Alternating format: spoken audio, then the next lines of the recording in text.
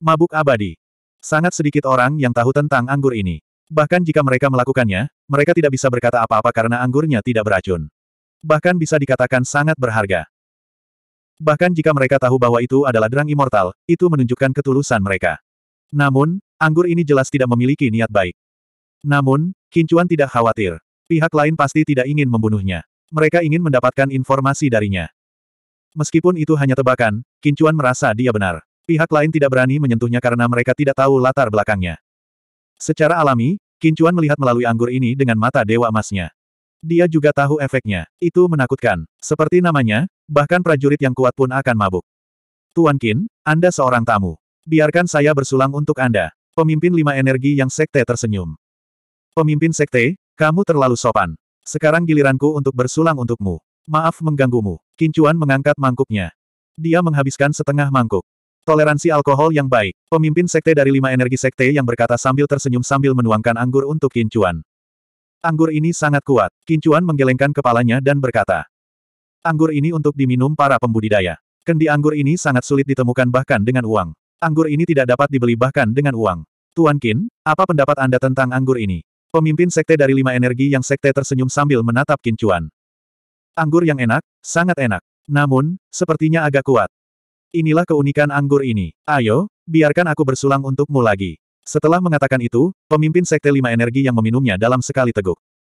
Kincuan secara alami tahu apa yang dia rencanakan. Namun, dia tidak akan minum.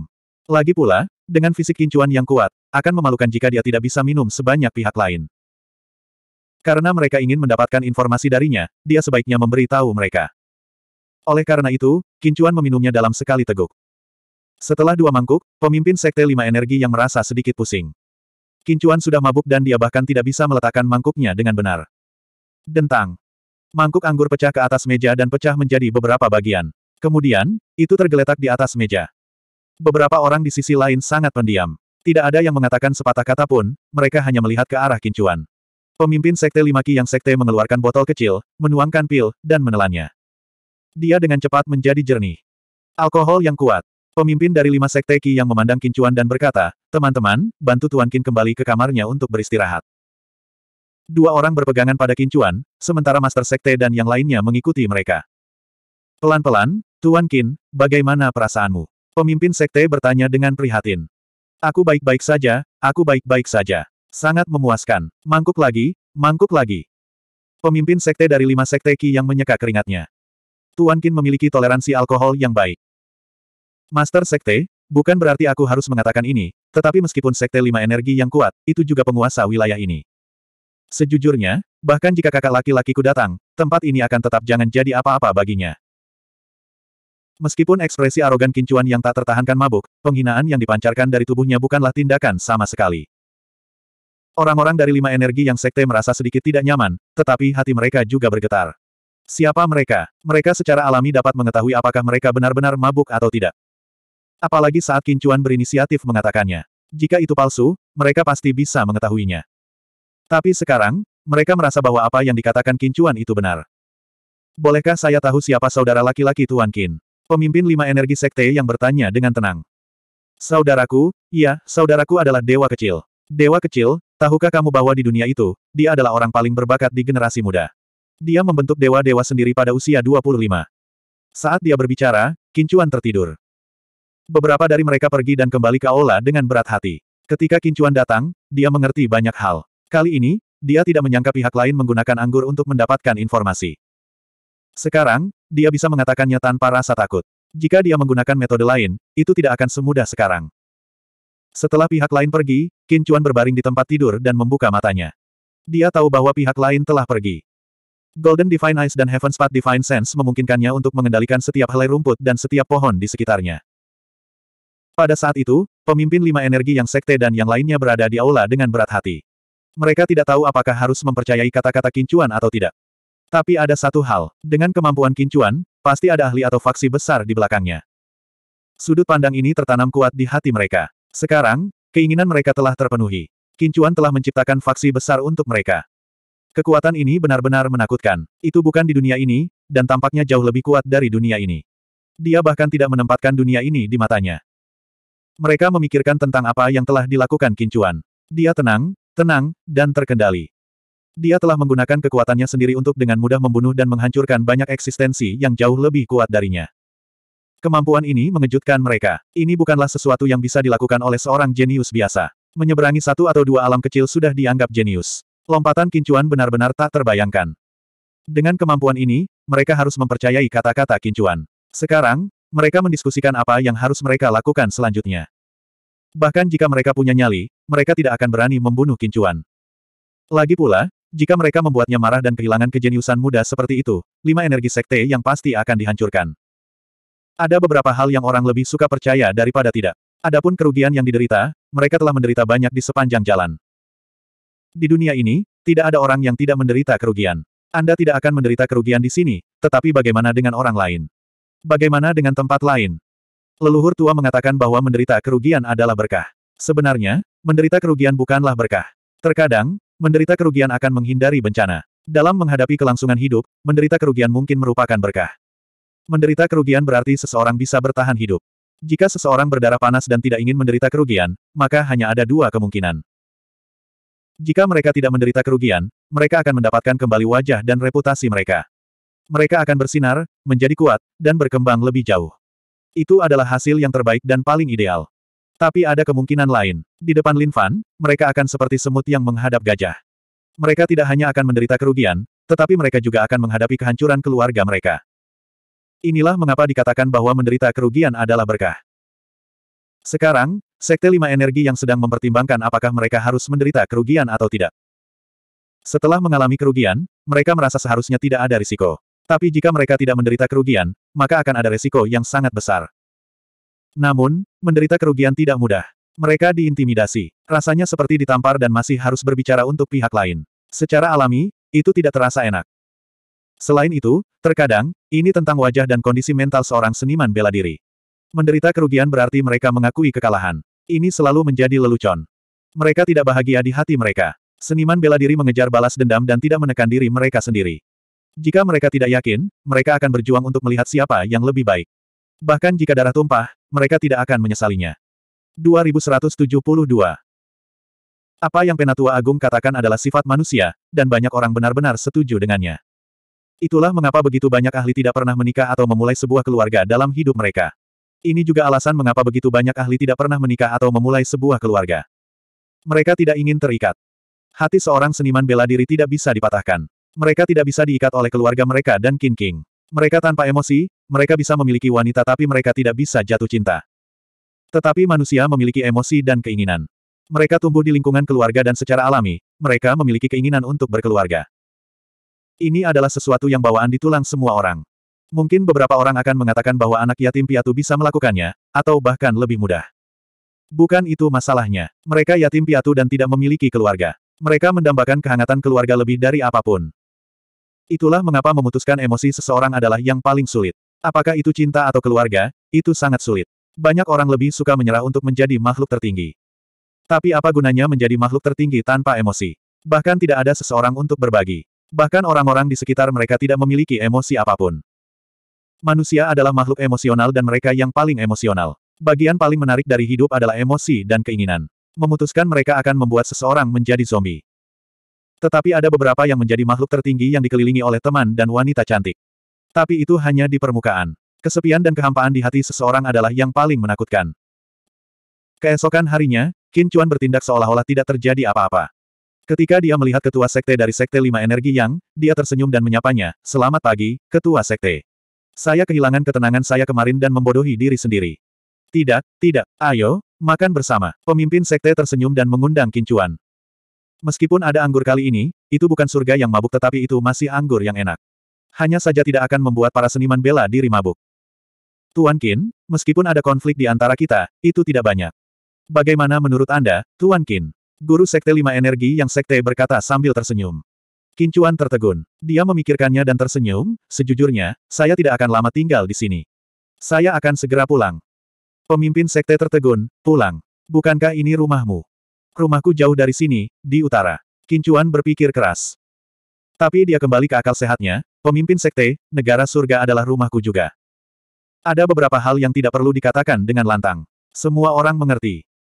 Dari sudut pandang lima energi yang sekte, generasi muda dari keluarga yang begitu hebat adalah seorang jenius yang tiada taranya. Mengapa dia datang ke sini? Orang-orang muda tidak lebih dari kecantikan. Bagaimana bisa ada dua keindahan mutlak di kerajaan surgawi? Sekarang mereka tahu, dan Kincuan berusaha keras untuk melakukannya, itu semua untuk kedua wanita ini. Oleh karena itu, ini semakin menegaskan tebakan mereka. Hanya seorang keturunan jenius dari keluarga yang kuat yang berani melakukan ini untuk dua wanita. Dimengerti. Jangan khawatir, Tuan Qin. Jika ada masalah di negara surgawi, Anda bisa datang dan menemukan saya. Pemimpin Sekte Lima Energi yang Sekte secara alami mengerti. Karena dia tidak ingin menyinggung pihak lain, tidak ada salahnya mengungkapkan niat baiknya. Mungkin akan ada manfaatnya di masa depan. Kincuan tersenyum, Master Sekte terlalu sopan. Jika sesuatu terjadi pada negara surgawi, tolong urus itu. Saya pasti akan berterima kasih di masa depan. Beberapa janji lisan masih sangat berguna. Lagi pula, status mereka berbeda. Memang, setelah mendengar apa yang dikatakan Kincuan, wajah Master Sekte dari lima energi Sekte yang berbinar, dan dia menjawab dengan gembira, Tuan Qin, Anda terlalu sopan. Ini bukan apa-apa. Setelah tinggal di sini selama setengah hari, Kincuan pergi. Lagi pula, kedua wanita itu masih memikirkannya, jadi dia mengucapkan selamat tinggal kepada ketua Sekte dari lima energi yang Sekte dan kembali. Melihat Kincuan telah kembali, Permaisuri dan tutor kekaisaran merasa lega. Setelah mengetahui hasil perjalanan Kincuan, mereka menghela nafas lega. Lagi pula, tekanan dari lima energi sekte yang terlalu besar. Jika mereka bertarung dengan sembrono, tidak ada yang akan diuntungkan. Nyatanya, Kincuan juga merasa itu adalah masalah pelik. Meskipun dia tidak takut, susunannya telah hilang, dan roh penjaga belum matang. Meski bisa melakukan perlawanan, peluang menangnya sangat kecil, tidak lebih dari 30 persen. Lagi pula, Sekte Lima Energi yang adalah eksistensi yang kuat. Siapa yang tahu trik tersembunyi apa yang mereka miliki? Krisis langsung telah diselesaikan. Adapun apakah itu benar atau tidak, sulit dikatakan. Jika pihak lain menerima informasi yang akurat, sulit untuk mengatakan apa yang akan terjadi selanjutnya. Mungkin mereka masih berhubungan baik dengan Kincuan karena dia masih muda dan memiliki potensi yang tidak terbatas. Namun, ada juga kemungkinan lain. Artinya, pihak lain akan marah karena malu dan harus membunuh Kincuan. Namun, ini adalah masalah untuk masa depan. Adapun apa yang akan terjadi selanjutnya, tidak perlu memikirkannya sekarang. Saat ini, sangat sulit, hampir tidak mungkin, bagi siapa pun untuk mengetahui latar belakang Kincuan. Terkadang, waktu berlalu dengan sangat cepat. Selama hari-hari damai, Kincuan menjalani kehidupan yang sangat memuaskan. Dia berkultivasi, mempelajari susunan, jimat, pil olahan, dan sebagainya. Tak perlu dikatakan lagi, dia dan tutor kekaisaran akan berada dalam keharmonisan yang sempurna setiap malam. Satu tahun kemudian, wanita ini hamil. Ketika tutor kekaisaran mendengar berita ini, dia tercengang. Dia tidak bisa bereaksi untuk waktu yang lama. Meskipun dia telah menerima kincuan sebagai seorang pria dan merasa bahwa dia adalah seorang wanita, dia tidak pernah berpikir bahwa dia akan hamil dan memiliki anak. Dia tidak pernah memikirkan masalah ini. Dia menatap kosong kekincuan untuk waktu yang lama. Jika kamu tidak menyukainya, kita bisa menyingkirkannya, kincuan memikirkannya dan berkata. Tidak, apakah kamu tidak suka anak-anak? Tutor kekaisaran memandang kincuan dengan gugup. Kincuan tercengang dan tersenyum, aku menyukainya, aku sangat menyukainya. Namun, kamu juga harus menyukainya, jika tidak, anak itu akan terlalu menyedihkan. Aku menyukainya, ini anak kita, aku menyukainya, tapi aku tidak mengharapkan kejutan ini, aku benar-benar tidak mengharapkannya. Baru pada saat itulah tutor kekaisaran menjadi bahagia. Dia meletakkan telapak tangannya di perutnya, yang tidak bisa dilihat sama sekali. Senyum di wajahnya memiliki sedikit sifat keibuan. Kamu suka cowok atau cewek? Tutor kekaisaran memeluk lengan Kincuan dan bertanya dengan lembut. Selama kamu melahirkannya, meskipun itu babi, aku juga menyukainya, kata Kincuan. Kamu adalah babi, Huff. Kincuan tersenyum. Wanita ini sebenarnya memiliki sisi seperti itu padanya. Bagaimanapun, dia adalah seorang tutor kekaisaran dan dia menyukai wanita sebelumnya. Dia memiliki semacam kejujuran pria. Pada saat ini, dia bertingkah seperti gadis kecil dan tampang polosnya membuat Kincuan terpana. Wajah tutor kekaisaran memerah. Dia mengangkat kakinya dan menginjaknya, orang jahat, aku akan menemukan saudara perempuanku. Tutor kekaisaran pergi mencari permaisuri. Ah, kamu punya bayi. Kapan kamu melahirkan? Aku ingin menjadi ibu baptisnya, kata permaisuri dengan gembira. Tutor kekaisaran menggosok kepalanya, ini masih pagi, masih pagi. Mereka berdua bermain-main sebentar sebelum tutor kekaisaran bertanya, seberapa jauh kamu dengan dia? Apakah kamu membuat kemajuan? Permaisuri tersipu, segera. Kamu pemalu, apakah kita perlu malu? Ayo, katakan padaku, bagaimana? Guru kekaisaran terkekeh. Kultivasi kincuan telah menembus tiga alam kecil. Kecepatan ini tidak dianggap lambat dalam setahun terakhir ini. Itu pasti tidak lambat. Ini adalah terobosan yang solid. Tidak ada terobosan dalam formasi atau jimat. 2173. Alam Raja Surgawi. Setelah Alam Raja Surgawi adalah Alam Kaisar Surgawi. Kincuan memikirkan Master Kuil-Kuil Dewa Perang, yang berjanji akan membawanya ke pertukaran seni bela diri dalam dua tahun. Itu adalah dunia baru, dunia yang kuat. Alam Raja Surgawi hanyalah titik awal. Sekarang setelah lebih dari satu tahun berlalu, sudah waktunya untuk pergi dalam waktu setengah tahun. Ada juga banyak perubahan di negara surgawi. Yang paling jelas adalah kultivasi tutor kekaisaran. Bagaimanapun, dia telah bersama Kincuan akhir-akhir ini. Kultivasi Kincuan hanya bisa dianggap biasa saja, tetapi wanita ini telah maju pesat. Dia, yang awalnya berada di alam Raja Surgawi yang tinggi, telah memasuki alam Kaisar Surgawi belum lama ini. Ini membuat Kincuan tertegun pada awalnya. Terobosan ini tidak kecil, dan dia khawatir alam akan menjadi tidak stabil. Tanpa diduga, tidak hanya stabil, tetapi juga membuat alam sebelumnya jauh lebih stabil. Sama seperti bangunan, tidak hanya lantai atas yang sangat kuat, tetapi lantai bawah juga dituang dengan besi cair, menjadi lebih kuat. Dibandingkan dengan sebelumnya, itu adalah konsep yang sama sekali berbeda. Yang lainnya adalah Dewa Penjaga. Kaktus itu sekarang tingginya lebih dari 10 meter. Meski jauh lebih besar dari sebelumnya, masih terlalu kecil di depan pabrik besar ini. Namun, kekuatan tidak bisa dinilai berdasarkan ukuran. Kekuatan penjaga kaktus telah mengalami perubahan besar. Saat itu, itu bisa dengan mudah menembus kaki kincuan. Sekarang, kekuatannya secara alami berkali-kali lebih kuat. Yang paling penting adalah sekarang ia memiliki kesadaran spiritual. Ini adalah perubahan terbesar dari pabrik. Dengan kesadaran spiritual, ia tidak lagi seperti tumbuhan. Sekarang, ia benar-benar hidup, memiliki pikirannya sendiri, dapat bergerak, dan dapat mengubah ukurannya. Hubungannya dengan permaisuri akhirnya berkembang pesat, dan dia hampir mencapai langkah terakhir. Saat ini, selain langkah terakhir, dia telah melakukan semua yang dia bisa. Ini bukan proyek kecil. Selama lebih dari setahun, dia hanya maju sedikit demi sedikit. Dapat dikatakan bahwa dia telah menikmati kenikmatan yang tak tertandingi dan juga sangat menderita. Lagi pula, minuman abadi yang lezat ada tepat di depannya, tapi dia hanya bisa melihatnya dan tidak memakannya. Dia hanya bisa merasakannya sedikit, tetapi tidak memakannya sama sekali. Perasaan seperti itu bisa membuat orang gila. Untungnya, dengan adanya Imperial Preceptor, Kincuan tidak akan bisa melawan. Masih ada waktu setengah tahun lagi. Sebelum pergi, dia harus menyelesaikannya. Dalam hal jimat, Kincuan telah membuat kemajuan paling besar, dan dia telah menemukan jalan. Itu adalah jalan yang mengarah ke jimat level 16. Itu seperti bayangan yang sangat panjang. Mengikuti bayangan, dia perlahan mencari tubuh utama. Ini sepertinya tidak mungkin, tapi juga tidak sederhana, karena jika bayangannya terlalu panjang, meski ada jejak yang harus diikuti, jika terlalu panjang, waktu yang dibutuhkan tidak akan terukur. Oleh karena itu, meskipun Kincuan senang, dia juga bersiap untuk menjelajah untuk waktu yang lama. Bagaimanapun, selama dia memiliki tujuan yang kuat, bergerak maju dengan berani, dan terus berjalan, dia akhirnya akan berhasil. Kincuan juga perlahan akan belajar menempa dan menempa pedang dan palu ilahi. Tidak ada akhir untuk belajar. Yang lebih kuat adalah, yang lebih tidak penting akan terasa. Semakin tidak berguna, semakin arogan jadinya. Kincuan sekarang menyadari bahwa dia tidak perlu terlalu senang dengan apa yang selalu dia banggakan, karena terlalu banyak ruang untuk perbaikan. Tidak perlu baginya untuk berpuas diri dengan pencapaian kecil ini. Faktanya, semua ini bahkan mungkin tidak layak disebut. Satu bulan kemudian. Malam ini, Kincuan tidak pergi ke tempat guru kekaisaran. Ini adalah pertama kalinya dia tidak pergi karena dia berada di kamar permaisuri. Permaisuri sedang mandi. Dia sudah lama berada di kamar. Mungkin dia gugup. Kincuan sedang beristirahat di tempat tidur dengan mata tertutup, memikirkan beberapa hal. Setelah setengah jam lagi, permaisuri keluar. Dia mengenakan piyama seputih salju, wajahnya agak merah, dan kepalanya sedikit menunduk saat dia berjalan.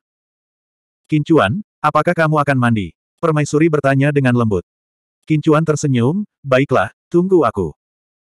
Awalnya, Kincuan tidak ingin mandi, tetapi untuk memberinya waktu dan ruang, dia ingin menenangkan diri di tempat tidur. Kincuan tidak mandi perlahan, tapi sengaja melambat. Oleh karena itu, ketika dia keluar, permaisuri sedang bersandar pada bantal di atas tempat tidur. Ketika dia melihat Kincuan datang, dia tersipu dan tersenyum. Kincuan berjalan mendekat, mengangkat selimut tipis, dan bersandar di bahunya. Kamu gugup. Kincuan tersenyum dan bertanya. Iya, tidak terlalu gugup. Aku sudah lama menunggu hari ini, kata permaisuri dengan lembut. Kalimat ini membuat darah kincuan mendidih. Kalimat ini benar-benar membuat darah pria mendidih. Kalimat dari kecantikan yang luar biasa ini memberinya rasa pencapaian. Lagi pula, setelah sekian lama, hubungan mereka masih sangat dalam. Kincuan perlahan menciumnya. Semuanya berjalan lancar. Kincuan perlahan menciumnya. Permaisuri melepaskannya karena dia tahu apa yang akan terjadi malam ini. Oleh karena itu, dia melepaskan pikiran batinnya dan tidak ingin menyerahkan segalanya kepada Kincuan. Dia hanya merasa bahwa dia mengambang di awan. Indah, cahaya lembut, batu giok putih yang mempesona, sempurna dan tanpa celah. Dia seperti kecantikan giok putih dengan dua mutiara merah cerah yang bergetar seperti bunga popi tertiup angin. Dia sangat mempesona. Pada saat ini, dia bermartabat dengan semacam pesona mempesona yang tiada taraf. Kincuan mengelilinginya dan secara alami menyerang area terlarang. Semuanya berjalan begitu lancar. Langit dan bumi berpotongan, semua makhluk hidup-hidup selamanya, matahari terbit dan bulan tenggelam, langit dan bumi berbeda, tanahnya berat, langit cerah, semuanya teratur. Hong! Kincuan hanya merasa tubuhnya seperti terbuka. Dia bahkan tidak tahu apakah itu tubuhnya atau lautan kesadarannya. Tapi dengan sangat cepat, dia merasakan banyak kekuatan misterius memasuki tubuhnya. Beberapa berasal dari langit dan bumi sementara beberapa berasal dari tubuh permaisuri. Dia menerobos. Permaisuri menerobos juga dan dia menerobos lebih cepat dari Kincuan. Tetapi pada saat ini, Kincuan tidak peduli tentang hal lain. Ini karena tubuhnya secara otomatis menyesuaikan dan membimbing dirinya sendiri. Dia tidak perlu melakukan apa pun sama sekali. Oleh karena itu, Kincuan sedang menikmati momen kegembiraan ini. Tubuhnya dalam kebahagiaan. Tidak banyak orang yang bisa mengalami perasaan seperti itu. Ini adalah kebahagiaan sejati. Kebahagiaan mental dan fisik tak terlukiskan. Saat ini, satu-satunya pasangan yang iri dan bukan yang abadi. Lagi pula, sering kali, Kalimat ini hanyalah sebuah kalimat dan tidak ada yang bisa benar-benar memahami esensinya. Sebenarnya, banyak orang tidak dapat menemukan orang yang mereka sukai. Orang yang mereka sukai tidak menyukai mereka dan orang yang menyukai mereka tidak menyukai mereka. Bahkan jika mereka menemukan dua orang yang jatuh cinta pada pandangan pertama, karena berbagai alasan, sulit mencapai hubungan yang begitu sempurna. Mungkin orang akan mengatakan bahwa selama seseorang bahagia, itulah yang terbaik. Meski begitu, Kebahagiaan sejati adalah yang paling sempurna dan tidak ada kekurangan sama sekali.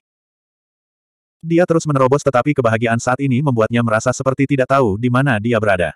Dia tidak tahu apa yang harus menerobos dan seberapa jauh dia bisa mendapatkan. 2174 Ketika semuanya tenang, itu sudah lama kemudian. Permaisuri sudah tenang, dan semuanya tampak berbeda. Awalnya, Kincuan takut akan terjadi kecelakaan dan mereka akan berhenti jika perlu. Namun, dia tidak menyangka semuanya akan begitu mulus, begitu mulus sehingga Kincuan sedikit terkejut. Mungkin ini karena persiapan yang baik. Semuanya ditata, sehingga mereka dapat dengan lancar mencapai akhir dan mengatasi semua kesulitan. Kincuan memeluk permaisuri. Pada saat ini, dia memeluk seluruh wanita itu. Saat ini, tidak ada yang perlu dikatakan, dan dia tidak ingin mengatakan apa pun.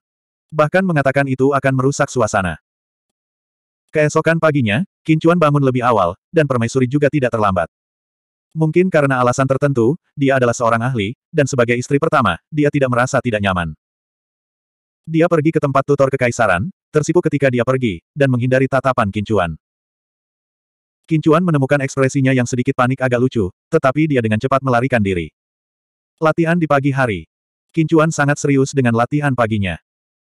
Dia telah menembus beberapa level, dan kali ini, dia tiba-tiba menyadari bahwa Yin dan Yang Grid Dao yang kuat dan teknik kultivasi ganda yang misterius telah sekali lagi bergabung dengan sempurna. Ini juga alasan mengapa permaisuri telah maju ke alam Kaisar Langit. Kincuan juga berhasil menembus ke tingkat kelima dari alam Raja Surgawi pada akhirnya. Ini memberi Kincuan kejutan yang menyenangkan. Kekuatan terobosan ini masih sangat kuat, dan kekuatan Yin ekstrim yang murni memasuki tubuh Kincuan. Kekuatan ini telah menyatu dengan energi Yin dalam kekuatan ilahi Yin dan Yang Kincuan. Ini memungkinkan Yin dan Yang Kincuan mencapai keseimbangan yang halus. Keseimbangan ini tidak boleh diremehkan. Sebelumnya, kekuatan Yin dan Yang dalam tubuh Kincuan sebenarnya lebih yang daripada Yin. Meski perbedaannya tidak terlalu besar, perbedaan sekecil apa pun adalah seribu mil. Meskipun tidak akan mempengaruhi apa pun, kekuatan yang diberikan jauh lebih lemah. Namun, sangat sulit untuk mencapai keseimbangan antara Yin dan Yang. Nyatanya, Kincuan tidak pernah berpikir untuk mencapai keseimbangan lagi. Lagi pula, itu terlalu sulit. Fisiknya menentukannya, jadi sulit baginya untuk mencapai keseimbangan.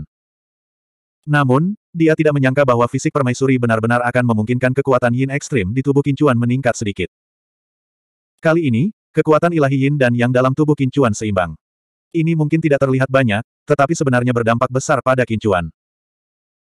Sebelumnya, dia bisa melepaskan 60 hingga 70 persen dari kekuatan Yin yang Divine Power, tapi sekarang dia bisa melepaskan 100 persen. Ini merupakan peningkatan setidaknya 30 hingga 40 persen. Ini adalah peningkatan kekuatannya secara keseluruhan. Itu hanya di permukaan. Hal lain adalah bahwa itu halus. Itu memungkinkan Kincuan untuk mencapai tingkat halus dalam penggunaan Dao Agung Yin dan Yang. Misalnya, Langkah-langkah jalan ilahi. Palu Dewa Tempayin yang menjadi semakin mulus di tangan Kincuan. Itu menjadi semakin alami. Perasaan seperti itu benar-benar mengejutkan. Ada kemegahan kuno dalam keagungan. Semuanya menjadi sangat sederhana, tetapi juga cerdik. Ini pasti semacam keberadaan yang bisa mengubah sesuatu yang busuk menjadi sesuatu yang ajaib. Semakin Kincuan bertarung, semakin baik perasaannya. Perasaan seperti itu tak terlukiskan. Itu adalah keindahan yang berbeda. Dia merasa sangat kuat, dan kepercayaan dirinya tampak sedikit meningkat. Pertarungan ini sedikit di luar kendali. Ketika berhenti, sudah lebih dari satu jam kemudian. Kincuan hanya memiliki satu gerakan. Forging God Hammer hanya memiliki satu gerakan. Itu membolak-balik, tetapi gerakan inilah yang ajaib. Itu adalah lintasan Dao. Ketika dia berhenti, dia melihat dua wanita tidak jauh menatapnya. Namun, mereka tidak mengatakan apa-apa, seolah-olah mereka takut mempengaruhinya. Kincuan berjalan mendekat dan secara alami memegang salah satu dari mereka di masing-masing tangan. Ini mungkin tingkat keintiman terbesar yang bisa dimiliki tiga orang saat mereka bersama. Untuk menjadi lebih intim, Kincuan merasa itu tidak realistis. Nyatanya, Kincuan tidak terlalu memikirkannya. Lagi pula, menyukai adalah masalah antara dua orang. Ketika dua orang bersama dan saling memperlakukan dengan jujur, tidak ada yang salah. Itu sangat alami. Oleh karena itu, saat ini, Kincuan tidak memikirkannya. Saat-saat bahagia sangat singkat. Mungkin akan terasa sangat singkat. Kincuan dan kedua wanita itu bersama. Sekarang, mereka bebas di siang hari. Pada malam hari, dia harus bolak-balik. Kadang-kadang, dia akan berada di tempat permaisuri suatu hari dan kemudian di tempat lain di hari berikutnya. Kadang-kadang, dia akan berada di tempat permaisuri pada paruh pertama malam dan tempat tutor kekaisaran pada paruh kedua malam itu. Pada saat ini, Kincuan terkadang memiliki sedikit pemikiran. Jika mereka bertiga bersama, itu mungkin bagus. Namun, ini dengan cepat ditolak oleh Kincuan. Karena hubungan kedua wanita itu tidak biasa, lebih baik berhati-hati. Selain itu, Kincuan tidak merasa dirinya tidak baik sekarang. Ini lebih romantis. Tidak ada alasan untuk mengatakan apa pun tentang usaha kecil ini. Setengah tahun telah berlalu. Kultivasi Kincuan telah mencapai tingkat ke-6 dari alam Raja Abadi. Dia hanya selangkah lagi dari tingkat ke-7. Dia belum membuat terobosan dalam jimat dan formasi, tetapi kemampuannya membuat jimat telah mencapai akhir. Jika tidak ada yang salah, dia pasti akan membuat terobosan dalam satu atau dua bulan. Namun, Kincuan akan pergi sekarang. Lagi pula, dua tahun yang disepakati akan segera berakhir. Kedua wanita itu sangat bebas dan nyaman. Tutor kekaisaran memeluk salah satu lengan Kincuan sementara permaisuri memeluk tangan Kincuan yang lain. Adikku dan aku akan berada di sini selamanya. Ketika kamu bebas dan merindukan kami, kamu bisa datang dan mengunjungi kami kapan saja, kata tutor kekaisaran dengan lembut. Dia secara alami bergantung pada Kincuan dan tidak tahan berpisah dengannya. Namun, dia tahu bahwa pada saat seperti ini, dia harus lebih bebas dan nyaman. Dia adalah seorang wanita dewasa dan rasional. Permaisuri mengangguk. Jaga dirimu saat kamu sendirian di luar. Adikku dan aku akan berada di sini, jadi kamu tidak perlu mengkhawatirkan kami. Kalian juga harus menjaga diri kalian sendiri. Kalian sudah tahu cara menggunakan formasi. Juga, Dewa Penjaga bisa digunakan sekarang. Jangan terlalu khawatir, kekuatan kalian masih lumayan. Kincuan tidak mengatakan apa-apa lagi. Dia telah mengatakan apa yang perlu dia katakan. Dia telah memberitahu mereka tentang kepergiannya setengah bulan yang lalu. Jadi, dia melambai dan pergi. Kam Kuil Dewa Perang. Kincuan kembali dan tersenyum saat melihat Kincuan. Dua murid terakhirnya benar-benar naga dan burung phoenix di antara manusia. Kincuan dan Yue Qingyin. Kincuan tidak melihat Yue Qingyin. Setelah bertanya, dia mengetahui bahwa dia sudah pergi. Dia tidak tahu ke mana dia pergi. Guru kuil memberi Kincuan sepucuk surat dengan beberapa kata di atasnya. Sampai jumpa lagi jika takdir menghendaki. Yue Qingyin. Guru kuil juga sangat lugas. Dia menyuruh Kincuan untuk bersiap-siap. Mereka akan berangkat besok dan menuju ke kota Chuzhou di utara. Keesokan harinya, mereka menggunakan formasi teleportasi. Kincuan tidak berharap untuk pergi ke tempat ini dengan begitu nyaman. Mereka langsung pergi ke kota Chuzhou. Ini adalah atap kota Chuzhou. Orang-orang bergegas dan tidak terlalu memperhatikan Kincuan dan Master Kuil. 2175. Saat itu, dua binatang terbang raksasa muncul. Salah satunya adalah elang langit merah. Sky Eagle bukanlah binatang biasa. Elang langit berwarna merah darah sangat menarik perhatian. Itu mungkin bukan binatang yang paling kuat, tapi itu pasti simbol terbaik dari statusnya. Penampakan elang langit raksasa berwarna merah menarik perhatian banyak orang. Ada yang iri, ada yang berdiskusi. Tapi itu berarti pemilik Sky Eagle harus berstatus tinggi. Ini adalah Chuzhou di utara. Itu jelas satu atau bahkan dua tingkat lebih tinggi dari dunia tempat dia berada sebelumnya. Saat itu, dua orang turun dari Sky Eagle. Salah satunya adalah seorang pria parubaya, dan yang lainnya adalah seorang gadis kecil. Meskipun dia adalah seorang gadis kecil, dia tidak kecil. Dia tinggi, setidaknya 1,7 meter. Dia memiliki payudara yang besar, pinggang yang tipis, bokong yang gagah, dan kaki yang panjang. Tapi dia tidak terlihat terlalu tua. Kincuan merasa bahwa dia baru berusia dua puluhan. Fitur wajahnya sangat indah, terutama hidungnya yang kecil, tapi dia terlihat sedikit sombong. Pria parubaya itu sangat elegan. Dia tampak seperti berusia empat puluhan, yang mirip dengan pemimpin kuil. Kincuan memandang mereka dan berpikir bahwa mereka ada di sini untuk pemimpin kuil. Mungkinkah mereka berteman dengan pemimpin kuil? Tapi sekali lagi, itu masuk akal. Karena mereka bisa datang ke sini untuk berpartisipasi dalam pertukaran seni bela diri, mereka pasti punya teman di sini. Kakak kedua, pria parubaya itu berjalan ke arahnya. Kakak ketiga, pemimpin kuil berkata dengan gembira. Paman, gadis itu juga orang yang sopan. Gadis kecil Ran semakin cantik. Kakak kedua, ini, pria itu memandang Kincuan dengan heran. Ini muridku, Kincuan. Dia ada di sini untuk bertemu pertukaran seni bela diri. Pemimpin kuil memperkenalkan Kincuan. Cuaner, ini saudara angkatku, Jiang Tao. Halo, paman ketiga. Kincuan menyapa. Siapa paman ketigamu? Bagaimana kamu bisa seperti ini? Ayahku bukan paman ketigamu, kata gadis itu enteng. Bagaimana kamu bisa mengatakan itu? Minta maaf. Pria parubaya itu berteriak dengan serius. Kakak ketiga, lupakan saja. Kita baru saja bertemu. Muridku lumayan. Kalian anak muda bisa lebih banyak berkomunikasi. Anak muda, jangan marah. Dia dimanjakan olehku. Jangan dimasukkan ke dalam hati. Hei, pria parubaya itu menghela nafas. Paman ketiga, kamu terlalu sopan. Aku kasar, tolong jangan tersinggung. Kincuan tersenyum. Gadis kecil, lihat Cuaner. Lihatlah dirimu sendiri. Apa yang kamu bicarakan? Dia murid pamanmu. Jika kamu terus bertingkah seperti ini, aku tidak akan mengenalimu sebagai putriku lagi. Pria parubaya itu sangat marah. Ayah, jangan marah. Aku akan berubah. Setelah mengatakan itu, mereka naik ke punggung Heavenly Eagle. Gadis muda itu melirik Kincuan dengan jijik. Ini membuat Kincuan terdiam. Dia bahkan tidak mengenalnya, jadi mengapa dia memperlakukannya dengan permusuhan seperti itu? Namun, Kincuan segera mengetahui bahwa hubungan antara Tuan Istana dan pria parubaya itu sangat baik karena Tuan Istana tidak memiliki keluarga. Namun, apa yang telah mereka sepakati adalah bahwa anak-anak mereka akan menjadi bagian dari keluarga Qin di masa depan, asalkan laki-laki dan perempuan. Namun, Tuan Istana tidak memiliki keluarga, jadi ini tidak mungkin. Namun, pria parubaya itu mengatakan bahwa selama itu adalah murid atau muridnya, dia akan menyetujuinya. Kali ini, penguasa istana membawa Kincuan ke sini. Ketika pemuda ini datang, penguasa istana secara alami berpikir bahwa dia ada di sini untuk menikah. Gadis kecil itu mengetahui hal ini karena pria parubaya itu tidak menyembunyikannya. Lagi pula, masalah ini tidak bisa disembunyikan, jadi dia memberitahunya secara langsung. Dia hanya ingin dia memiliki sikap yang lebih baik. Namun, gadis kecil itu sangat memberontak. Bagaimana mungkin, terlepas dari apakah kincuan tampan atau jelek, dia benar-benar meremehkannya. Ini karena kemampuan pamannya adalah yang terlemah di antara tiga saudara angkat ayahnya.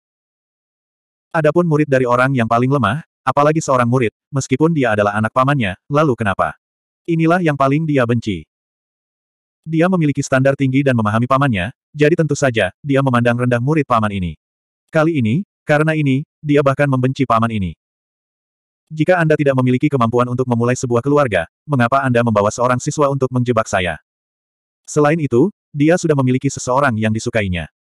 Latar belakang, kemampuan, latar belakang, keluarga, dan status sosialnya jauh lebih baik darinya, belum lagi paman keduanya yang paling tidak berguna.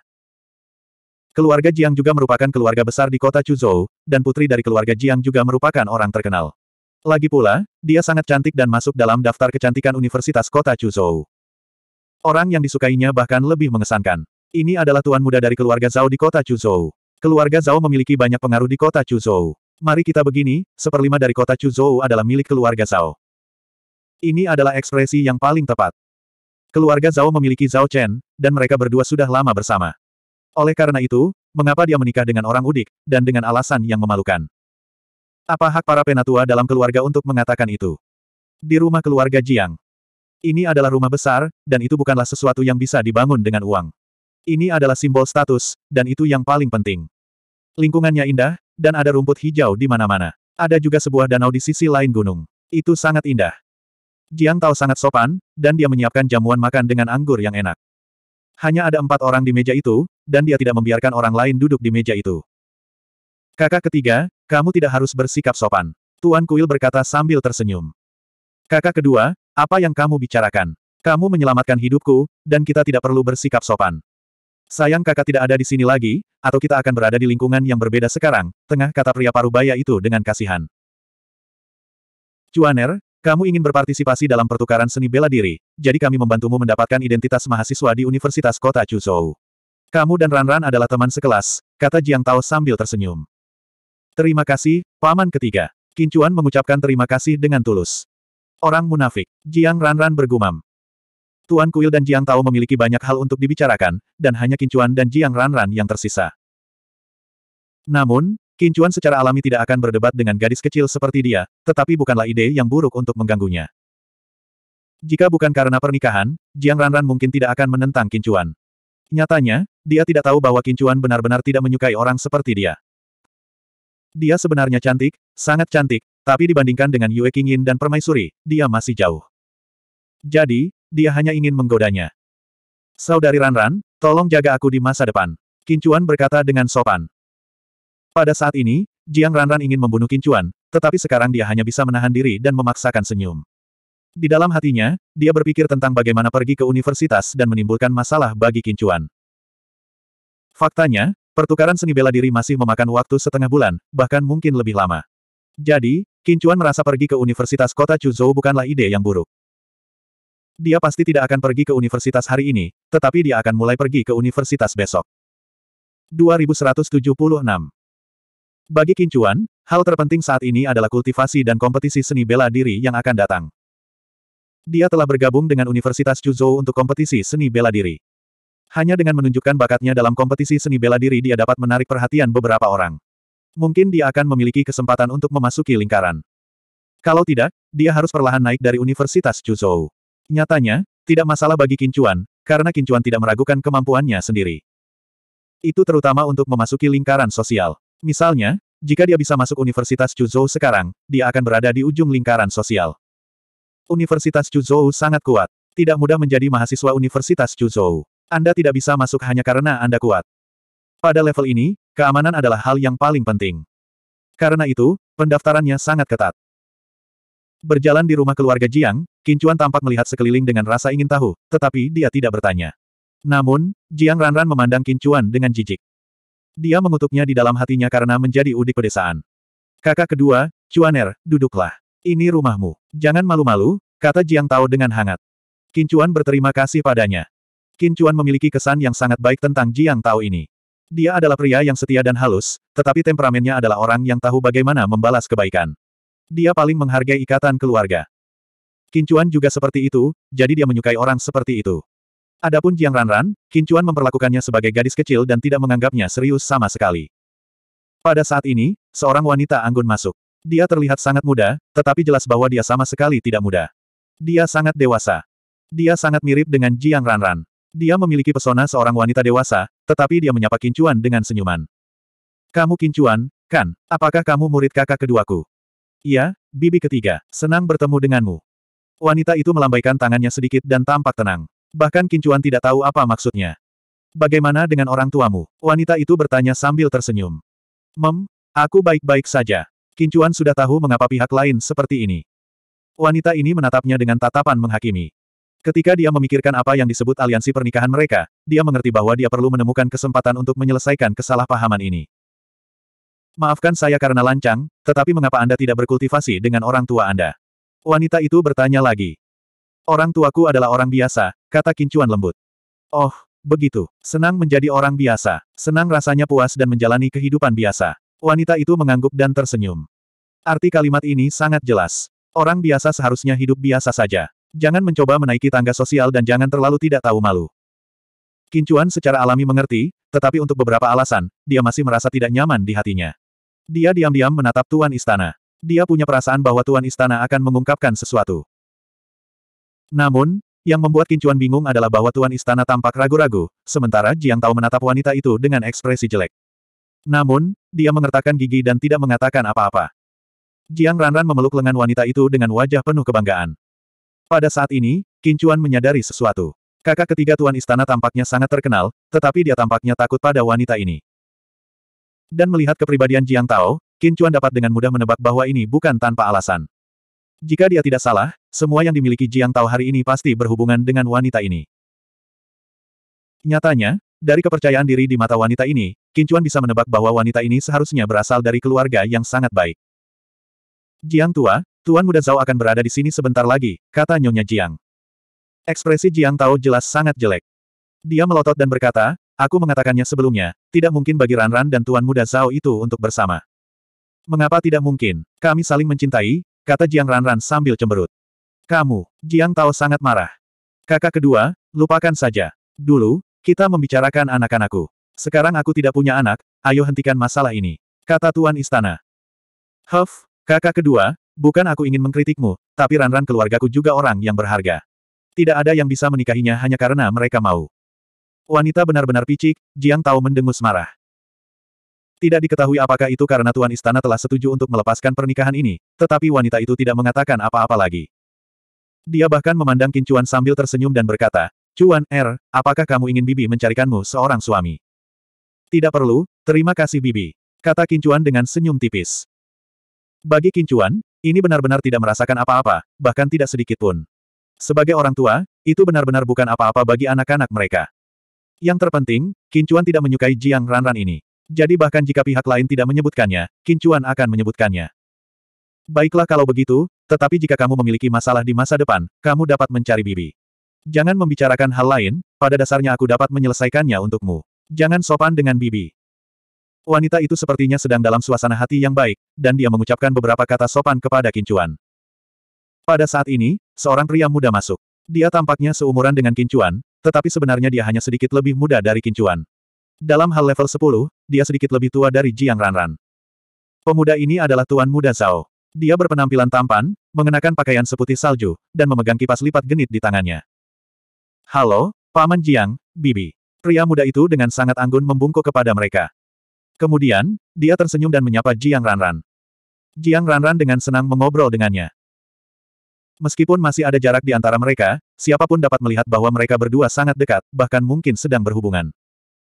Jiang tahu menatap putrinya dengan ekspresi yang sangat jelek.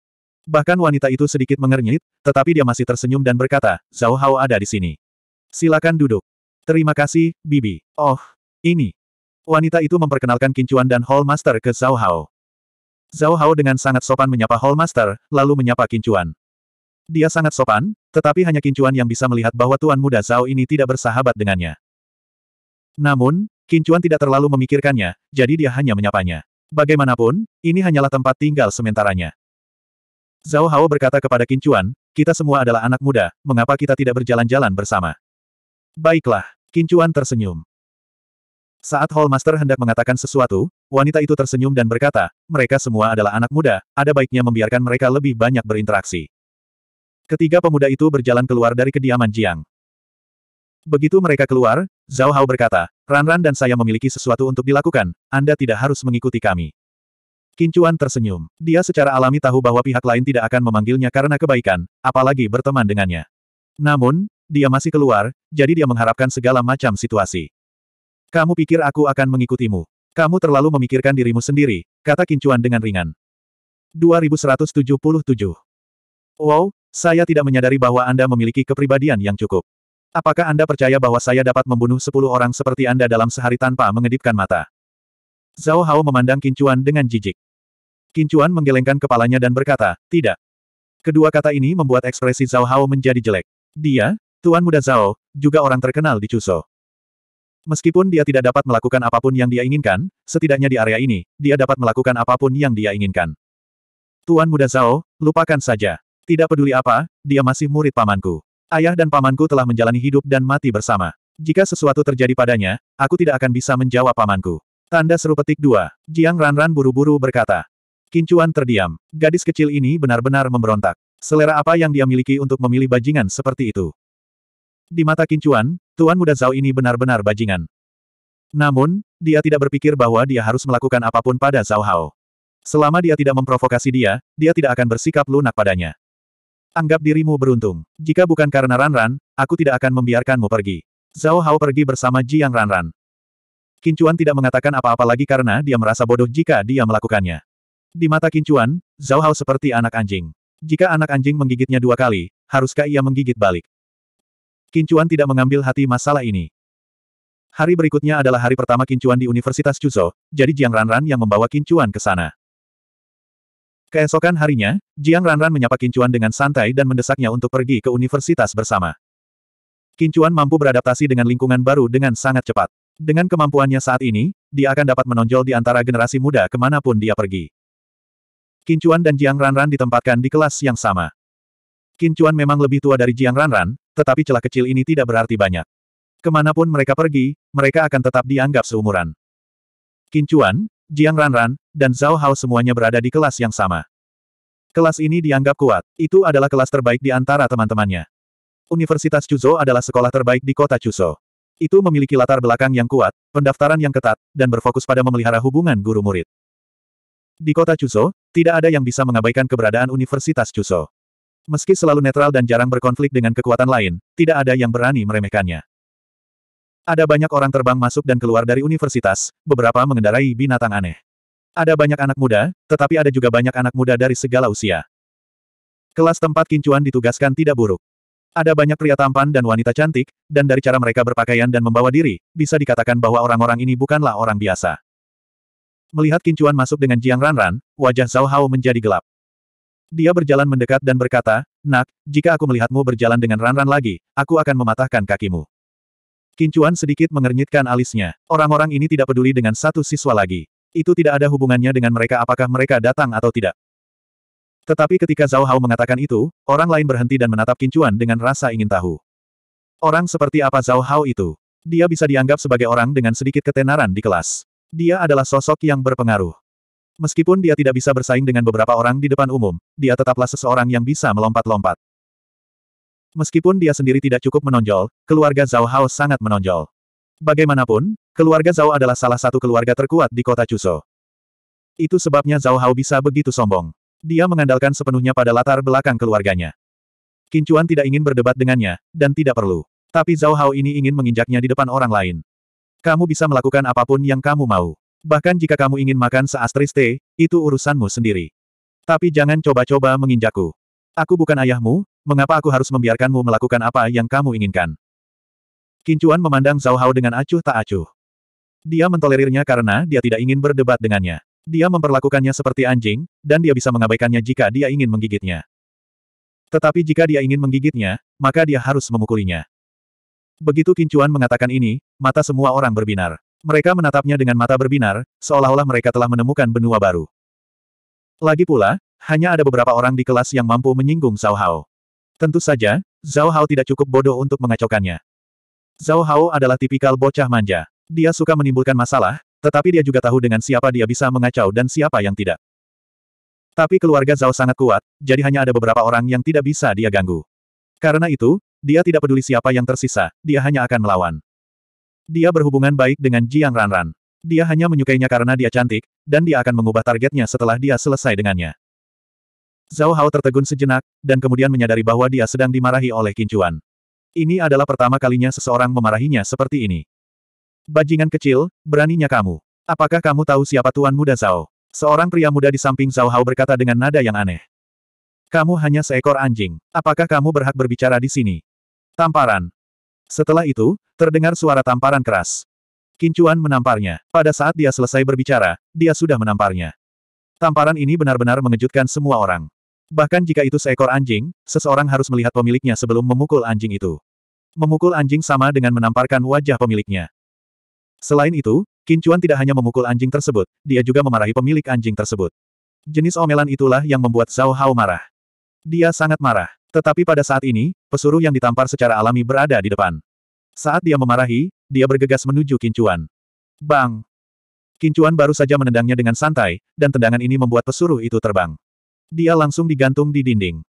Kali ini, semua orang tercengang. Karena antek ini bukanlah antek yang tidak tahu apa-apa. Antek ini memiliki beberapa kemampuan. Jika tamparan sebelumnya adalah kecelakaan, maka kali ini, dia langsung dikirim terbang dengan tendangan. Pertama kali adalah kecelakaan. Tapi untuk kedua kalinya, jangan katakan bahwa Anda ceroboh. Jika Anda benar-benar kuat, Anda tidak akan ceroboh dan mengalami kecelakaan. Pada saat ini, tatapan semua orang tertuju pada Zhao Hao dan Kincuan. Zhao Hao memiliki beberapa antek di sampingnya. Pada saat ini, Antek-antek yang tersisa tahu bahwa mereka mungkin tidak akan bisa menang, tetapi pada saat ini, mereka tidak akan kalah dalam hal moral. Oleh karena itu, orang-orang ini menonjol dan mengepung Kincuan. Namun, mereka tidak bergerak. Kincuan tertawa. Jika mereka tidak bergerak, itu akan berakhir. Jika Anda tidak bergerak, saya akan melakukannya. 2178 Kincuan berjalan mendekat, dan tanpa peringatan apa pun, mengulurkan tangannya dan menamparkan wajahnya. Lawan secara naluriah mundur dalam pertahanan, tapi ini sebenarnya sama dengan melawan balik. Tapi itu juga baik, seperti melawan balik. Pria itu tidak melawan dan Kincuan menamparnya. Tampaknya agak terlalu sombong tetapi jika pria itu melawan, itu akan menjadi perkelahian. Jadi, tentu saja, orang ini dalam masalah. Dia tidak bisa bertahan dan dengan mudah dipukul ke tanah. Dia kehilangan seluruh wajahnya. Kincuan tidak berhenti sama sekali. Dia hanya berjalan menuju orang lain. Ketika orang ini melihat Kincuan berjalan mendekat, dia secara naluriah gemetar dan bahkan menyerang. Dia membuang semua rencananya sebelumnya ke belakang kepalanya. Dia selalu melawan orang lain dan tidak pernah mengalami situasi seperti itu. Peng peng. Kincuan menendangnya dua kali dan dia terbaring di sana tidak bisa bangun. Kemudian, dia berjalan menuju yang lain. Secara alami, beberapa dari mereka mengerti apa yang sedang terjadi. Jadi, mereka tidak bergerak. Namun, setelah Kincuan menamparkan mereka, mereka tidak bergerak sama sekali. Orang-orang di sekitar mulai penasaran. Pa, tamparan lain ke wajah. Kali ini, Pihak lain mengertakkan gigi dan menahannya. Bagaimanapun, ini adalah tamparan di wajah. Dikatakan bahwa ketika Anda memukul seseorang, jangan pukul wajahnya. Lagi pula, ditampar di wajah tidak lebih baik daripada telanjang. Setelah dua tamparan, orang-orang di sekitarnya mulai berdiskusi. Meskipun orang-orang ini bukan orang baik dan beberapa dari mereka sombong, betapapun tak tertahankannya mereka, Kincuan adalah orang luar, orang asing. Untuk orang asing yang memukul seseorang yang tidak melawan akan membuat orang merasa seperti dia menindas mereka. Ada pepatah yang mengatakan bahwa naga yang kuat tidak bisa menekan ular. Mari kita tidak membicarakan apakah Kincuan adalah naga yang kuat atau tidak. Setidaknya, Kincuan sepertinya menekan mereka. Meskipun orang-orang ini bukan orang baik, diintimidasi seperti ini merupakan tamparan bagi penduduk asli. Jadi, beberapa orang mulai merasa tidak nyaman. Orang ini telah ditampar lima atau enam kali tetapi dia masih menahannya. Itu karena dia bisa mendengar diskusi di sekitarnya. Siapa orang ini? Dia sangat sombong. Dia pengganggu. Orang-orang ini pantas dipukuli. Tidak buruk untuk diberi pelajaran. Bahkan naga yang kuat pun tidak bisa menekan ular lokal. Kami bahkan tidak tahu apakah pemuda ini naga yang kuat, tapi dia sudah sangat sombong. Aku ingin melihat bagaimana dia akan membereskan kekacauan ini. Karena dia berani bertarung, itu berarti dia tidak takut pada pihak lain. Selain itu, tidakkah kamu perhatikan bahwa pemuda ini sangat berbeda dari yang lain? Lupakan penampilannya, hanya temperamen dan auranya. Sekarang kamu menyebutkannya, itu benar. Ketidakpedulian semacam ini, ketenangan ini, seolah-olah semuanya terkendali, atau lebih tepatnya, dia sama sekali tidak peduli tentang apa pun di sini. Saya tiba-tiba menyadari bahwa dia sangat tampan. Saya ingin mengejarnya. Seorang wanita yang kuat berkata dengan penuh semangat. Suaranya agak kasar, badannya agak berotot, badannya agak tinggi, wajahnya agak datar, mulutnya agak besar, dan bibirnya agak tebal. Tapi secara keseluruhan, wanita ini tidak jelek. Itu sedikit aneh. Disatukan, dia tidak bisa dianggap cantik, tapi dia sedikit cantik dan tampan. Nah, ini adalah wanita yang sedikit tampan. Orang yang paling ingin muntah darah adalah Zhao Hao. Dia, Zhao Hao, juga merupakan tokoh top di akademi. Paling tidak, dia pasti seseorang di level ini. Mereka yang tidak takut padanya pasti akan takut pada klannya. Oleh karena itu, selalu lancar baginya. Dia menghindari orang-orang yang tidak mampu dia sakiti, jadi dia hanya bertemu dengan orang-orang yang mampu dia sakiti. Lambat laun, reputasinya menyebar. Lagi pula, dia didukung oleh pohon besar. Oleh karena itu, mereka yang tidak memandang Zhao Hao tidak akan memprovokasi dia. Lagi pula, Zhao Hao bukan satu-satunya pemuda di klan Zhao. Klan Zhao juga memiliki jenius muda, dan beberapa dari mereka. Oleh karena itu, jika seseorang berani membuat Zhao Hao malu, maka dia harus bersiap untuk ditantang oleh para jenius dari klan Zhao. Zhao Hao selalu tahu bahwa tidak ada yang berani mencari masalah dengannya. Tetapi ketika situasi muncul hari ini, dia menyadari bahwa dia dan orang-orang di sekitarnya tidak dapat menangani lawan, dan bingung harus berbuat apa. Pada saat ini, seorang pemuda di samping Zhao Hao mengatakan sesuatu dengan lembut. Matanya menyala, dan dia mengangguk. Kemudian, pemuda ini segera pergi. Kincuan melihat ini dan juga mendengar apa yang dikatakan pemuda itu. Nyatanya, dia pergi mencari kakak laki-laki Zhao Hao untuk bala bantuan. Ini adalah kakak kandungnya, kakak laki-laki dari ayah dan ibu yang sama. Ada juga banyak kakak laki-laki dari ibu yang berbeda. Dalam keluarga bangsawan, tidak ada ikatan keluarga. Dalam keluarga bangsawan, orang-orang dari ayah dan ibu yang sama akan dekat satu sama lain, dan orang-orang dari ibu yang berbeda akan jauh satu sama lain. Bahkan, demi keuntungan, bahkan orang-orang dari ayah dan ibu yang sama terkadang saling membunuh. Tapi sampai batas tertentu, Zhao Hao tidak berguna. Banyak orang di klan Zhao memperlakukannya dengan baik karena dia tidak berguna dan tidak akan bertentangan dengan kepentingan orang lain. Selain itu, jika Anda memperlakukan orang yang tidak berguna seperti saudara Anda, itu berarti Anda sangat baik dan menghargai ikatan keluarga. Ini akan membuat banyak orang merasa bahwa Anda adalah orang yang sangat setia, yang langka dan berharga. Oleh karena itu, Zhao Hao tampaknya sangat populer di kalangan masyarakat, terutama di generasinya. Kincuan tidak menghentikan mereka. Beberapa hal harus dihadapi pada akhirnya. Apalagi, jika dia ingin membuat beberapa orang berubah pikiran, dia harus pamer. Zhao Hao dan yang lainnya mendatanginya, dan sepertinya seseorang membawa bantal saat dia mengantuk. Ini adalah kesempatan yang bagus, dan Kincuan tidak akan melewatkannya. Dengan identitas Kincuan, dia tidak takut. Dia berasal dari Hall of Divine Warfare, dan dia memiliki rekomendasi, jadi tidak ada masalah baginya untuk masuk ke Universitas Chuzhou. Oleh karena itu, dia tidak takut menjadi orang terkenal, dan dia tidak takut diselidiki. Yang perlu dia lakukan sekarang adalah memamerkan kekuatannya dan berharap dia bisa berintegrasi ke dalam lingkaran ini. Kali ini, dia telah meminjam tumpangan gratis kuil Dewa Kuil Perang untuk datang ke sini. Tuan Kuil telah memberinya kesempatan untuk masuk. Tapi seberapa jauh dia bisa pergi akan bergantung pada Kincuan sendiri. Namun, Kincuan sangat puas. Batu loncatan dari Temple Lord ini sangat penting. Kalau tidak, jika Kincuan harus menemukan jalannya sendiri, dia tidak tahu berapa lama. Dengan cara ini, dia bisa menghemat banyak waktu. Karena ini masalahnya, Kincuan tidak takut membuat keributan. Adapun tetua klan Zhao, jika itu terjadi, klan Zhao tidak akan layak menjadi salah satu dari lima keluarga teratas di kota Chuzhou. Adapun anak muda yang datang, Kincuan tidak peduli siapa mereka. Dia memiliki kepercayaan diri dan kemampuan untuk melakukannya. Pada saat ini, tidak ada yang mengatakan apa-apa. Mereka semua menonton pertunjukan, karena banyak orang sudah tahu bahwa Zhao Hao pasti pergi mencari saudaranya. Saudaranya adalah elit dari elit di Universitas Chuzhou. Ada banyak jenis mahasiswa di Universitas Chuzhou. Misalnya, siswa paling biasa, kemudian elit-elit, kemudian jenius elit, dan terakhir jenius-jenius. Namun, tidak banyak orang jenius di antara para jenius. Setiap orang dari mereka akan diterima sebagai murid oleh para guru atau tetua. Murid tidak sama dengan murid. Seorang murid seperti anak laki-laki. Ketika mereka mengajar, mereka akan dengan sepenuh hati, meneruskan keterampilan mereka tanpa motif egois. 2179 tetapi seorang murid berbeda. Dia bisa memukul dan memarahi muridnya. Dia bisa membiarkan muridnya melakukan urusannya sendiri. Dia salah satunya. Dia bisa memperlakukan muridnya dengan cara yang sama seperti dia memperlakukan putranya. Hanya para jenius dan jenius di antara para jenius yang akan diperhatikan oleh tetua dan pelindung sekolah dan diterima sebagai murid. Kincuan tidak menolak diterima sebagai murid. Begitu dia mencapai apa yang diinginkannya, nasib ini akan memudar. Ini adalah aturan realitas. Ketika seorang seniman bela diri menjadi kuat, keluarganya tidak akan menjadi penghalang, apalagi seorang master. Jika dia tidak bisa membebaskan diri dan hanya bisa tetap berada di lingkaran ini, maka hubungan antara guru dan murid akan selalu ada.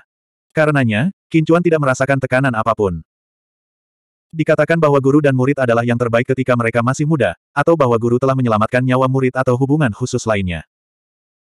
Hanya saja seiring bertambahnya usia, hubungan antara guru dan murid lebih tentang manfaat. Bakatnya bagus. Dia akan mengajarinya dan dia akan membantunya membangun reputasinya. Di masa depan, dia bahkan harus mengambil alih dendam yang dia tinggalkan.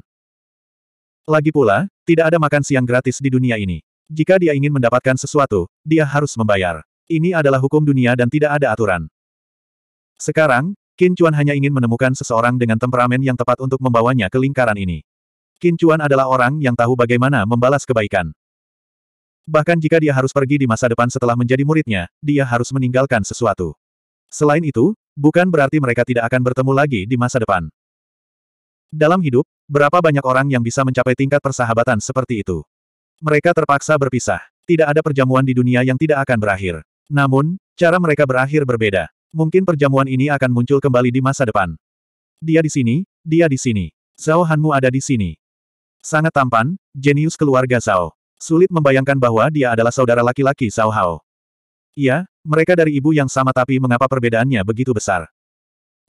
Kincuan juga penasaran. Saat orang ini muncul, diskusi di sekitarnya semuanya positif. Hampir tidak ada yang mengatakan hal buruk tentang dia, bahkan para pria.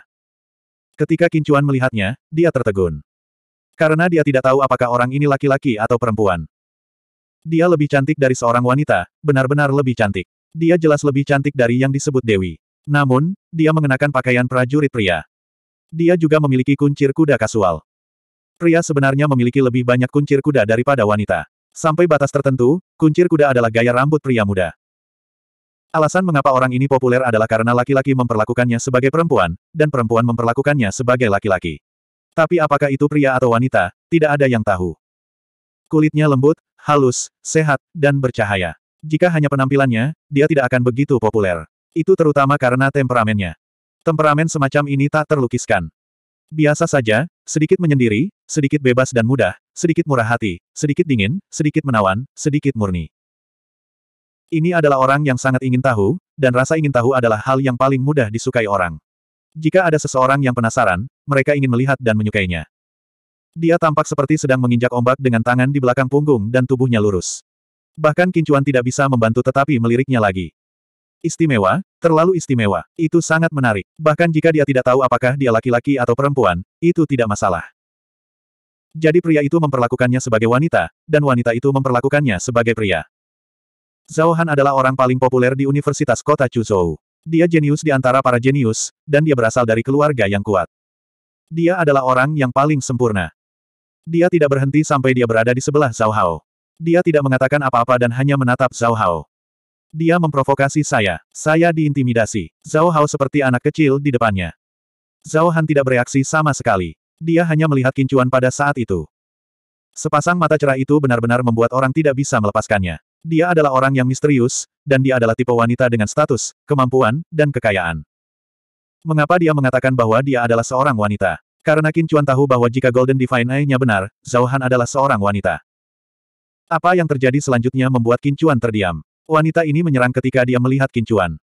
Dia tidak ingin mengatakan apa-apa. Tidak ada gunanya mengatakan apa-apa, jadi sebaiknya dia tidak mengatakan apa-apa. Setelah serangan ini, Kincuan menyadari bahwa dia telah meremehkan lawannya.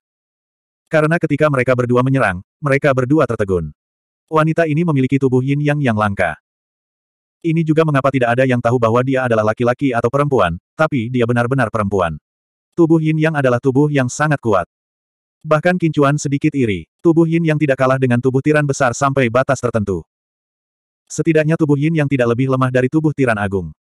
Namun, arah kedua konstitusi itu berbeda. Tubuh tiran yang luar biasa adalah kebenaran yang luar biasa. Itu adalah yang terkuat dan paling pantang menyerah. Kebenaran dapat menahan kejahatan. Jika Kincuan dapat membuat tubuh Yin Yang, pencapaian Kincuan tidak akan lebih rendah dari sekarang. Keduanya memiliki tubuh Yin Yang, dan ketahanan mereka terhadap energi Yin yang sangat kuat. Itu hampir dapat diabaikan. Kincuan terkejut karena mata Dewa Emas. Dia penasaran, tapi Zhao Han sedikit bingung. Zhao Han bahkan lebih terkejut daripada Kincuan. Dia telah mengalahkan musuh yang tak terhitung jumlahnya di sepanjang jalan, dan dia mengandalkan tubuh Yin Yang. Semuanya memiliki Yin dan Yang. Seperti kata pepatah, jika Anda mengerti satu, Anda akan mengerti semuanya. Pertukaran ini menarik. Semakin Kincuan dan Zhao Han bertarung, mereka semakin terkejut. Kincuan sebenarnya bermain-main dan tidak menganggapnya serius sama sekali. Zhao Han juga sama. Dia juga tidak menganggap serius Kincuan. Terlalu sedikit orang di generasi muda yang bisa membuatnya menganggap mereka serius. Dia menatap Kincuan dengan rasa ingin tahu, tetapi tangannya tidak berhenti. Keduanya bertarung dengan cepat, dan kecepatan mereka sangat cepat sehingga menyilaukan. Serangan Kincuan memiliki kemampuan untuk mengubah batu menjadi emas. Meskipun dia tidak bisa mengenai tubuh Yin Yang, dia masih memiliki kemampuan untuk mengubah batu menjadi emas. Serangan Zhao Han memiliki kekuatan dingin yang aneh, dan itu membuat tubuh Kincuan terasa seperti akan membeku. Namun, tubuh Kincuan luar biasa, dan dia bisa melautkannya. Tapi tubuh Yin yang Zhao Han juga bisa melarutkan batu putar Kincuan menjadi emas. Kali ini, rasanya mereka benar-benar seimbang. Wilayah Zhao Han secara alami lebih tinggi dari wilayah Kincuan. Dia berasal dari keluarga Zhao, dan dia tidak kekurangan sumber daya. Dia tidak kekurangan bakat, dan tubuhnya yang kuat memungkinkannya berjalan sejauh ini tanpa hambatan. Di generasi yang lebih muda, dia belum pernah bertemu lawan yang benar-benar dia yakini. Bahkan orang yang paling menonjol pun hanya setara dengannya. Tapi pemuda ini seharusnya seumuran dengannya, tapi alamnya jauh lebih rendah dari miliknya. Tapi karena perbedaan alam ini, dia sebenarnya berimbang dengannya. Itu menakutkan. 2180. Saat ini, mereka bertarung dengan sangat serius. Meskipun Qin Chuan selalu merasa bahwa dia dapat dengan mudah menghancurkan mereka yang seumuran dengannya, dia tahu bahwa dia dapat dengan mudah menghancurkan mereka. Sekarang, dia tidak tahu apakah dia bisa mengalahkan lawannya. Bahkan jika dia bisa, itu tidak akan mudah. Lagi pula, ada beberapa metode yang tidak ingin dia gunakan, dan itu tidak cocok untuk dia gunakan. Jika dia seperti itu, maka begitu pula lawannya. Oleh karena itu, Kincuan merasa sangat rumit. Jenius. Jauh di lubuk hati, Kincuan tidak menyangkal bahwa dia adalah seorang jenius. Orang jenius selalu sedikit sombong. Kemampuan Kincuan sangat solid, dan kemampuan bertarungnya sangat kuat. Secara umum, anak muda dengan usia yang sama, apakah tingkat kultivasi mereka lebih tinggi atau tidak, dia yakin bisa dengan mudah mengalahkan lawannya. Pada saat ini, keduanya telah berpisah. Pada saat ini, lingkungan sangat sunyi, karena sekarang mereka semua menunggu untuk melihat sikap Zhao Han. Zhao Han adalah kebanggaan keluarga Zhao, dan saudara kandung Zhao Hao. Dan saudara perempuan kandungnya. Hanya Kincuan yang bisa memastikan bahwa ini adalah seorang wanita. Sebenarnya, banyak orang menduga bahwa dia adalah seorang wanita. Lagi pula, meski dia mengenakan pakaian pria, temperamen seperti itu membuatnya sulit membedakan antara pria dan wanita. Suaranya sangat magnetis dan netral. Jika Anda menutup mata, Anda tidak akan tahu apakah itu laki-laki atau perempuan. Tetapi jika itu seorang wanita, maka suara ini benar-benar sempurna. Tetapi jika itu laki-laki, akan sedikit aneh jika pria yang sangat cantik menjadi laki-laki. Bukan karena laki-laki tidak bisa begitu tampan, tetapi dalam pikiran manusia, perempuan bertanggung jawab untuk terlihat baik. Jika seorang pria sangat tampan dan feminin, itu akan sedikit mengejutkan. Zhao Hao sedikit bingung sekarang, karena dia menyadari bahwa saudara perempuannya tidak dapat menjatuhkannya untuk pertama kali. Sekarang, dia sedikit curiga dengan identitasnya. Mungkinkah dia benar-benar hanya murid dari saudara angkat Jiang Tao? Itu agak dibuat-buat. Berapa banyak generasi muda yang bisa bertarung imbang dengan saudara perempuannya? Secara alami, tidak perlu membicarakan penampilan kincuan. Meskipun itu tidak sebanding dengan kecantikan yang tiada taraf, itu masih dianggap halus dan feminin. Ditambah lagi, dia memiliki rambut putih. Dengan satu pandangan, orang dapat mengatakan bahwa Kincuan adalah seorang laki-laki, tetapi dia tampan dan memiliki temperamen yang alami dan elegan. Temperamen ini memiliki sifat yang bebas dan mudah, dengan jejak keabadian. Dia tidak memiliki kekasaran seperti itu, tetapi dia tidak kekurangan jejak maskulinitas. Namun, saat ini, dia berdiri di hadapan Zhao Han. Jika mereka berdua laki-laki, Kincuan akan lebih diinginkan. Jika mereka berdua wanita, Zhao Han akan sempurna. Fisik Yin Yang. Bahkan Kincuan sedikit iri. Fisik ini tidak kalah dengan tubuh tiran Kincuan yang luar biasa. Sebenarnya, ini hampir merupakan tingkat warisan. Warisan kurang lebih sama. Secara alami, itu tergantung pada apakah itu cocok dengan tubuh seseorang. Selain terobosan legasi fisik, fisik Kincuan telah menembus tujuh atau delapan kali. Itulah mengapa dia memiliki tubuh tiran luar biasa yang kuat sekarang. Fisik Zhao Han juga telah menembus beberapa kali, dan itu tidak kalah dengan Kincuan. Ini juga mengapa dia bisa bertarung setara dengan Kincuan. Sebelumnya, Kincuan tidak terlalu memikirkan keluarga Zhao. Karena Zhao Hao, Kincuan sedikit sombong di dalam hatinya. Sekarang, sepertinya dia sedikit sombong. Kincuan berkata pada dirinya sendiri bahwa dia harus waspada setiap saat. Zhao Han kembali sadar dan menatap Kincuan sambil tersenyum. Itu benar-benar sedikit menghancurkan. Pada saat ini, semua orang secara tidak sadar menganggapnya sebagai seorang wanita. Kincuan merasakan tubuhnya bergetar karena bahaya tak terlihat mengelilinginya. Dia tahu bahwa pihak lain adalah seorang wanita. Terkadang, hal-hal seperti ini. Jika Kincuan menganggapnya sebagai laki-laki, dia mungkin bisa melawan lebih baik. Itu tidak baik untuk mengetahui sebelumnya. Bukan karena Kincuan menyukainya, dan bukan karena Kincuan ingin melakukan apa pun. Ini sebenarnya adalah kemampuan dalam Yin Yang. Itu adalah pengekangan antara Yin dan Yang. Kincuan adalah Yang, dan pihak lainnya adalah Yin. Sebenarnya, Kincuan tidak memiliki mata Dewa Emas. Selama Yin Yang Dao mencapai alam saat ini, dia bisa menggunakan Yin Yang untuk menentukan apakah pihak lain itu laki-laki atau perempuan. Untuk menyukai pria atau wanita, ini tidak bisa dilihat. Aneh bagi seorang wanita untuk berpakaian seperti ini. Atau lebih tepatnya, itu adalah keseimbangan antara Yin dan Yang dalam tubuh Yin Yang. Bang! Kincuan mencoba yang terbaik untuk bertahan, tetapi dia masih dipukul. Dia mundur beberapa langkah dan darah mengalir dari sudut mulutnya. Zhao Han sangat terkejut. Dia sangat jelas tentang seberapa kuat serangannya. Tapi sekarang, Qin Chuan hanya menderita luka ringan akibat serangannya. Kamu coba punyaku juga. Setelah Qin Chuan mengatakan itu, dia mengulurkan tangan untuk meraih wanita itu. Tangan Dewa Naga lima elemen Yin Yang. Ini adalah perpaduan Qin Chuan dari Yin Yang, lima elemen, dan tangan Naga Dewa. Kemampuan ini sangat komprehensif. Itu adalah serangan yang bisa membatasi dan menyerang. Tangan naga ilahi adalah yang ekstrim, tetapi setelah menggabungkan lima elemen dan yin dan yang, tangan naga ilahi menjadi menyebar ke mana-mana dan tidak bisa dihancurkan. Itu seperti diamond yang sangat fleksibel dan tangguh, tetapi bisa juga selembut ular, serba bisa dan tidak bisa dihancurkan. Kemampuan ini sangat menakutkan dan menyelimuti Zhao. Ekspresi Zhao berubah, dan tubuhnya berkelebat. Saat Kincuan meraihnya, sesosok buram terpisah dari tubuh Zhao Han. Inkarnasi tubuh Yin Yang. Tapi meski begitu, wajah Zhao Han menjadi pucat. Lebih penting lagi, pakaiannya kusut dan berantakan, dan itu berada di depan dadanya. Seolah-olah seseorang sedang menguleni dengan kedua tangan. Kincuan merasa sangat canggung. Dia tidak menggunakan tangannya secara langsung. Tangan naga Dewa Lima Elemen Yin yang adalah perpanjangan dari tangan Kincuan, jadi rasanya sama. Ketika Zhao melepaskan diri, Kincuan menyadari bahwa dia sedang memegang dadanya. Dia ragu-ragu sejenak sebelum melepaskannya. Jika dia menggunakan lebih banyak kekuatan, dia bisa membuatnya muntah darah. Di bawah pakaiannya yang longgar, orang tidak tahu bahwa dia sedang diintimidasi, tetapi Kincuan menyadari bahwa dia benar-benar mampu. Zhao Han tahu bahwa dia tidak sesat. Dialah yang melakukannya, jadi dia tidak bisa menyalahkan siapa pun. Namun, dia merasa sangat tidak nyaman. Tapi dia masih seorang pria terhormat dan tidak mengambil langkah maju lagi. Lagi pula, Ketika para ahli bertarung, jika dia mengambil langkah maju dan melukainya, dia bahkan tidak akan bisa berunding dengannya. Lagi pula, dia masih tidak tahu apakah dia laki-laki atau perempuan. Zhao Han tidak memuntahkan darah, tapi dia benar-benar ingin muntah. Dia tidak bisa mengambil keuntungan dari situasi seperti itu, dan hal yang paling tidak bisa berkata-kata adalah dia tidak bisa menyalahkannya. Kincuan benar-benar tertekan. Dia tidak ingin ini terjadi, tetapi sekarang semuanya menjadi tidak terkendali. Orang-orang di sekitarnya semua bingung. Pada saat ini, kelas dimulai. Zhao Han menatap Kincuan dengan ekspresi rumit dan pergi. Kincuan terdiam dan tidak tahu apa arti tatapan itu. Lupakan saja, meski aku menabraknya, dia juga melukaiku. Anggap saja impas, dan kita akan lihat siapa yang lebih baik saat kita bertemu lagi. Kincuan tidak memiliki kesan yang baik tentang keluarga Zhao, bahkan jika Zhao Han adalah seorang gadis. Alasan mengapa dia berhenti adalah karena kesopanan. Kelas dimulai. Kincuan menganggapnya menarik karena kelas ini tentang dasar-dasar seorang seniman bela diri. Ini adalah hal yang paling mendasar, dan banyak orang mengantuk.